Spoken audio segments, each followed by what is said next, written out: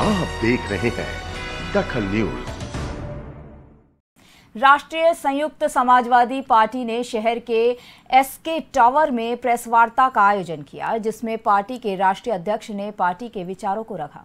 विधानसभा चुनाव के लिए राष्ट्रीय पार्टियों के साथ साथ क्षेत्रीय एवं निर्दलीय प्रत्याशी भी चुनावी मैदान में अपनी अपनी घोषणाएँ करते नज़र आए।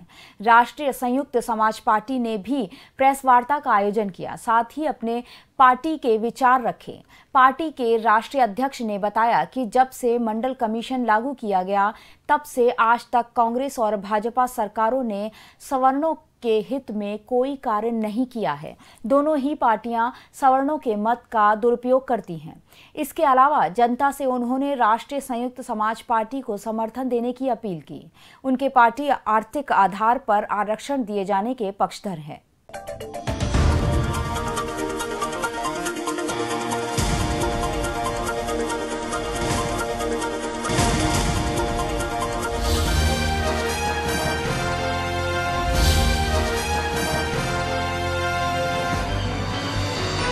आप देख रहे हैं दखल न्यूज़।